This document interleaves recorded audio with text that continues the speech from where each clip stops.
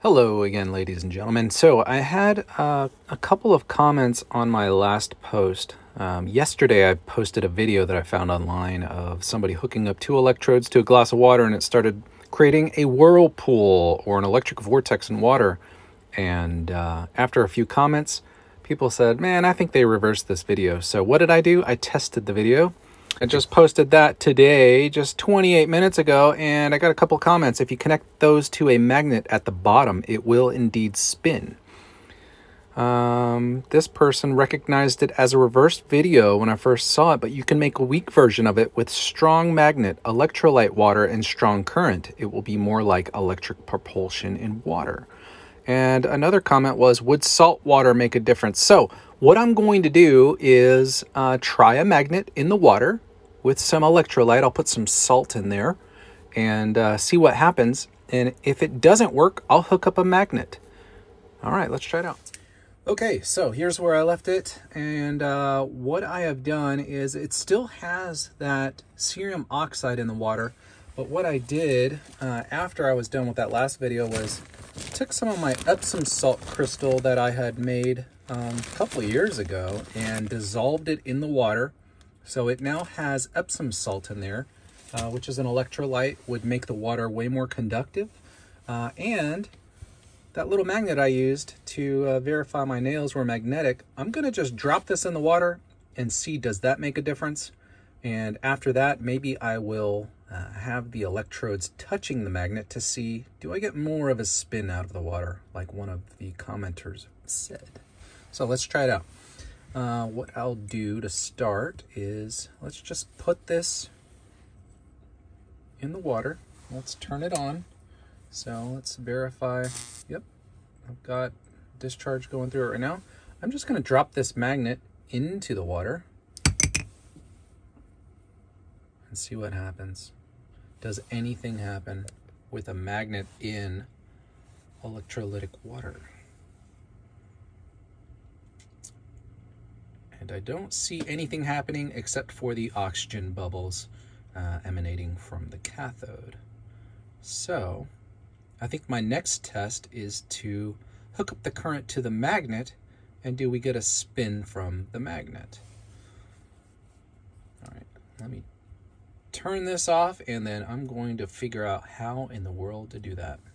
All right, so I mixed up the water. I've got the magnet. I think what I'm going to do because I am cheap and I try to find ways to do things without knowing what the heck I'm doing.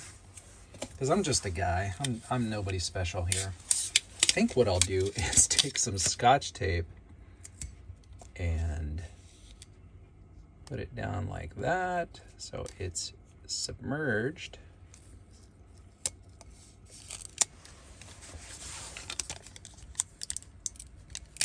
Oh goodness, okay, that might work. And I'll take another piece of tape and go this way.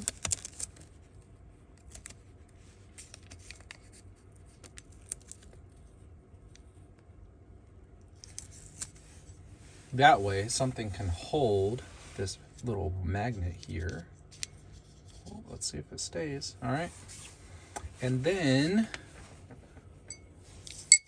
oh gosh,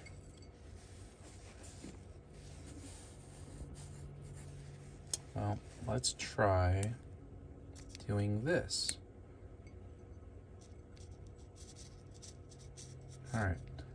I think that could work. All right, now, I don't know if anything's gonna happen, but let's try it. I'm gonna turn it on.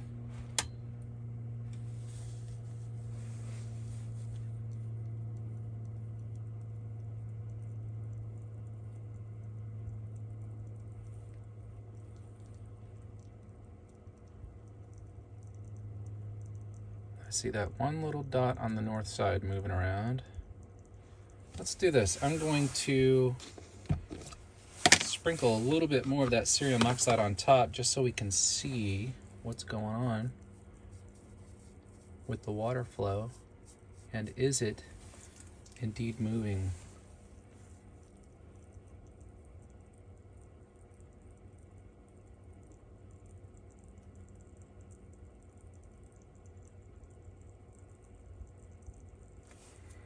Now I'm questioning does the magnet need to be fully submerged for this to work? Or do I need a bar magnet or a circular magnet versus a sphere magnet? Uh, this sphere does have two poles because I've played with multiple uh, of these little ball magnets before. So there are, there are definitely poles uh, with a kind of a neutral hemisphere. So I don't know which side it's on. That might make a difference. I do have I do have some pretty serious magnets around here. Um, but I moved this year and I'm still unpacking all of my previous equipment that I had. So I've got to do some digging and perhaps I'll try a different magnet. I have a really powerful neodymium magnet. It's a, a cube that I used on uh, an experiment a few years ago to create that crater in clay. So maybe I can find that because I'm not really seeing anything happening from this. Um, you know what? Let's try this. I'm going to turn the power off. Since this magnet's being attracted here, what if I just take this out? Let's remove this. I bet I bet that will hold in place if I just that will hold in place. All right, so now the magnet's fully submerged. Get it completely under the water. Well, the top is still poking out barely, but that's good enough for me. Let's turn it on.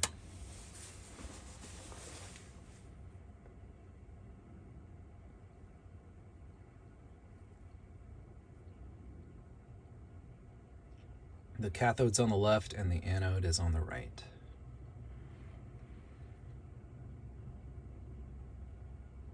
So the only movement I can tell is from the oxygen bubbles coming off of the cathode, uh, which is starting to spin the water, but it's not uh, it's not very great.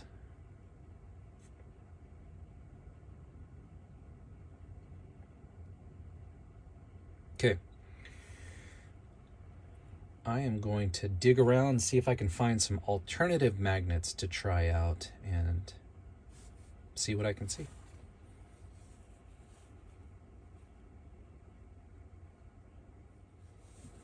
Okay, well, I dug around and I couldn't find any more magnets. However, what I do have is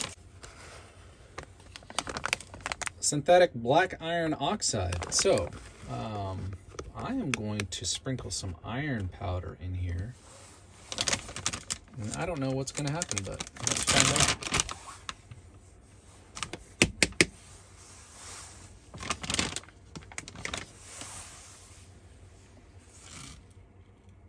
And obviously it goes right to the magnet.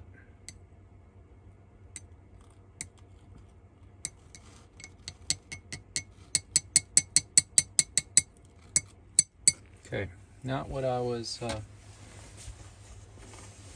looking for, but interesting that it's collecting over on the anode side. Oh, I'm sorry, on the uh, cathode side.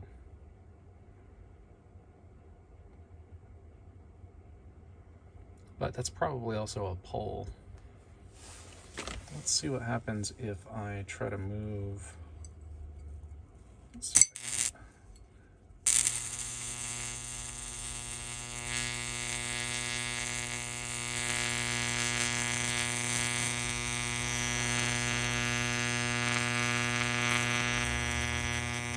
Probably going to end up demagnetizing this.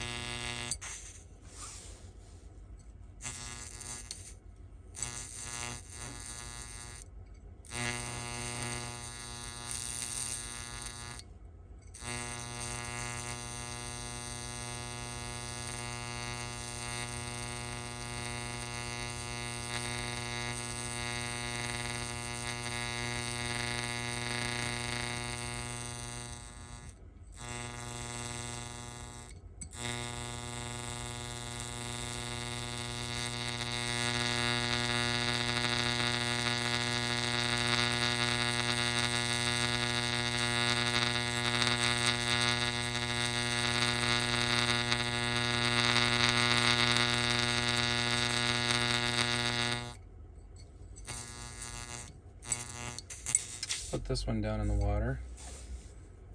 Just play around with this now. And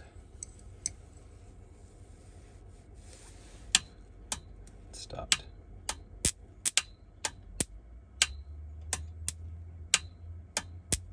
Now it doesn't want to go.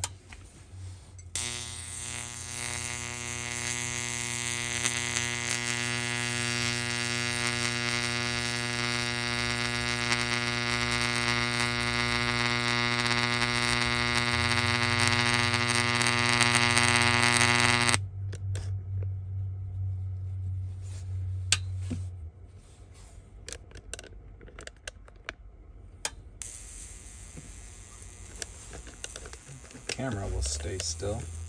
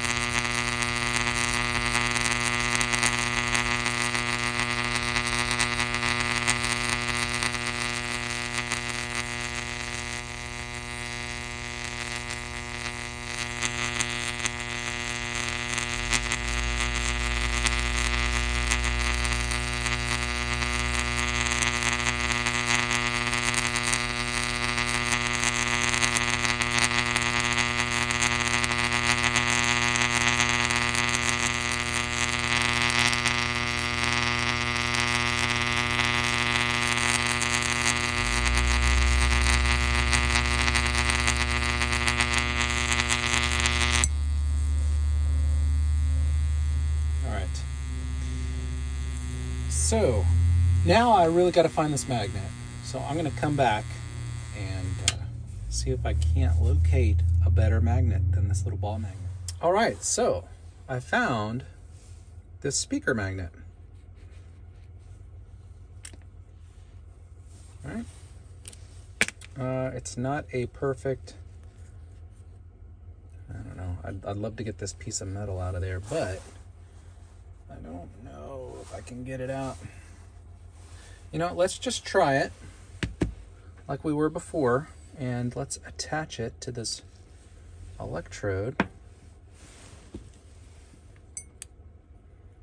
think what I'll do is um, Let's see if I can't get it to, is it gonna hold?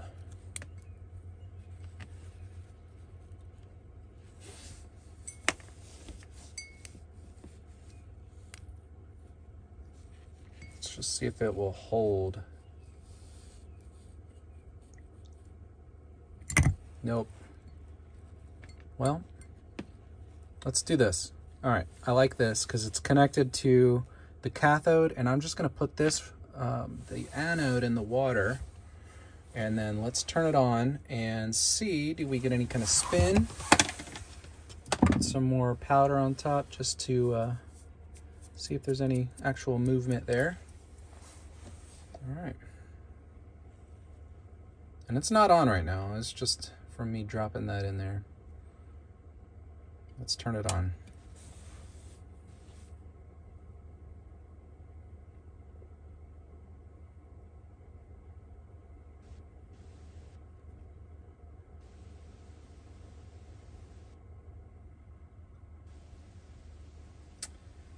I'm not really seeing anything fantastic.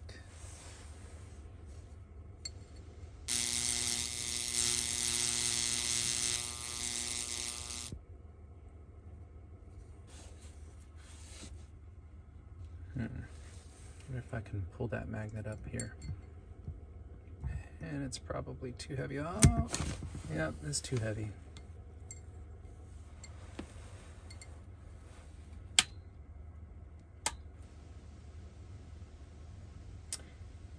and I get nothing. All right.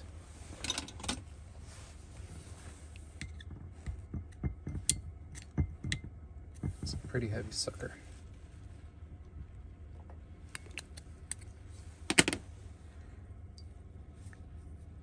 I want to take, I'm gonna see if I can get this metal out of there. So I believe this plate right here should come out. I'm gonna go bang it with the hammer and see if I can get just the magnet. I'll be back. All right, so I got that piece of metal out. So now I've got a ring magnet. There's still metal on that side, but now let's give this one a shot.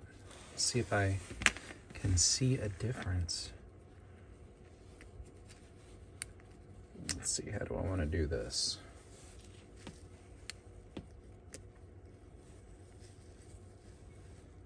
Is it gonna hold in in the water? It is. All right, so let's try this and see if we notice any difference here. The power is on.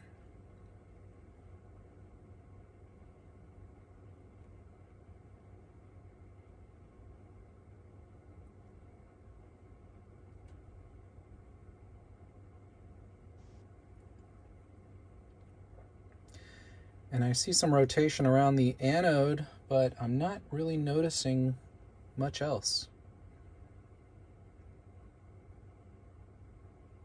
Maybe I'm doing it wrong. For you commenters out there, uh, if you know a trick, let me know and I'll give it a try.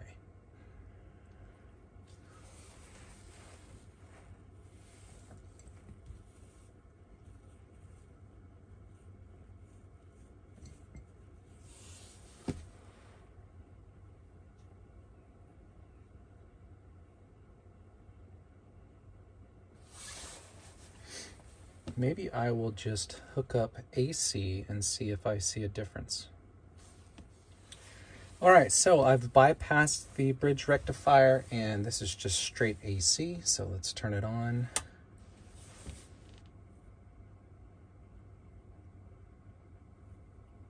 And I see nothing. So not sure what, uh, what to do here. Except for call it a day. All right, guys. I'll be back with something different next time. Toodaloo.